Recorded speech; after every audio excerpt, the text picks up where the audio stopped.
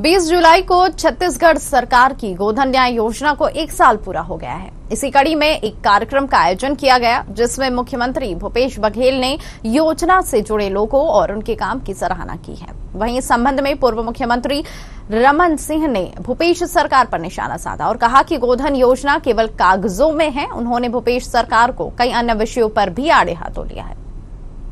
एक साल आते आते अब गोवर्धन, न्याय योजना और नरुआ गरुआ गुरुआ बारी, इस सब की पोल खुलने लगी है। अब हालत यह है कि पूरे छत्तीसगढ़ में न गोबर का पेमेंट हुआ है, न उसमें काम करने वाले स्व सहायता समूह के महिलाओं का पेमेंट हुआ है और ना ही पूरे की पूरी व्यवस्था में जिस प्रकार गौठान का हालत है, न वहाँ गाय है, न वहाँ पानी की व्यवस्था है, न वहाँ किसी प्रकार की व्यवस्था का लाखों करोड़ों रुपया खर्च करने के बाद